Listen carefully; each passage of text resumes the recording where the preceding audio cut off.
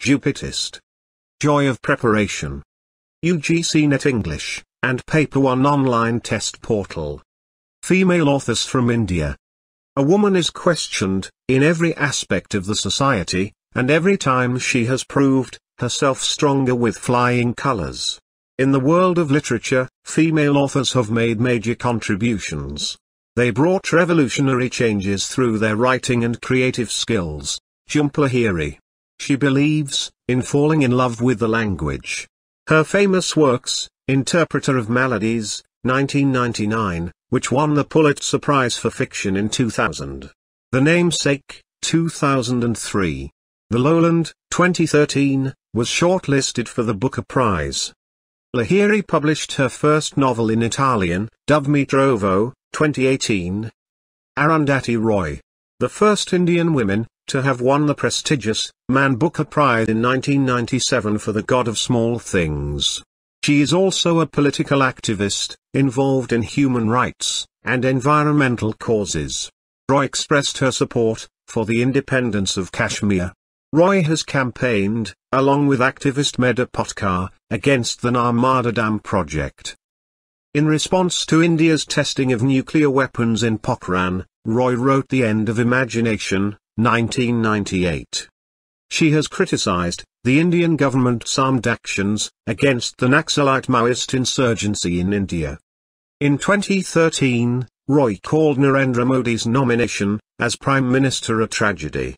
Roy describing the Indian government's response to the COVID-19 pandemic as a crime against humanity.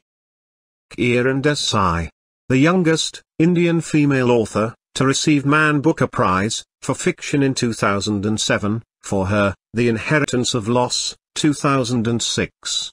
She has used the technique of magic realism and socio-cultural realism in her novels. Her first novel Hullabaloo in the Guava Orchard, 1998, has presented different perspectives of life. She is an established, diasporic writer of Indian origin, who presents Indians, as protagonists in her fiction. Her novels generally narrate, about Indian immigrants, who struggle to settle in an alien country, usually America. Anita Desai. Her childhood days, serve as a major theme in her novels. Many of her novels explore the state of middle-class women, and the tensions that exist in these families. She has been shortlisted for the Booker Prize three times.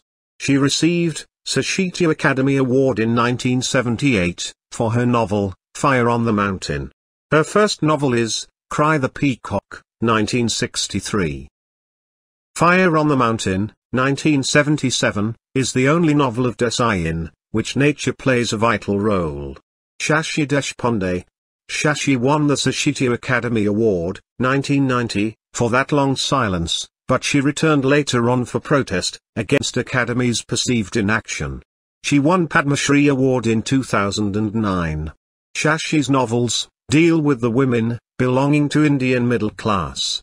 Her heroines are in a realistic manner. That Long Silence, 1988, which she says that, it is her most autobiographical one. Ashapurna Devi. She was awarded Jnanpith Award, Padma Shri in 1976, and Sahitya Academy Fellowship in 1994. When Ashapurna was 13, her poem Baradak, The Call from the Outside, was published. Her trilogy, Pratham Pratishruti, 1964, Subarnalata, 1967, and Bakul Katha, 1974, symbolizes an endless struggle for women to achieve equal rights. Her Rachanabali, collected works, are published in 10 volumes. Mahasweta Devi.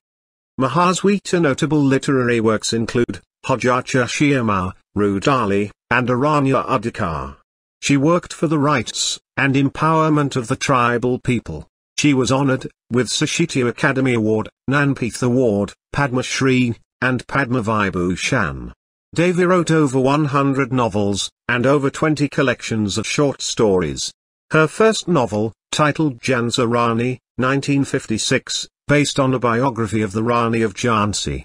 Indian scholar Gayatri Chakravorty Spivak has translated Devi's short stories, Imaginary Maps, 1995, Old Woman, 1997, The Breast Stories, 1997. Gayatri Chakravorty Spivak.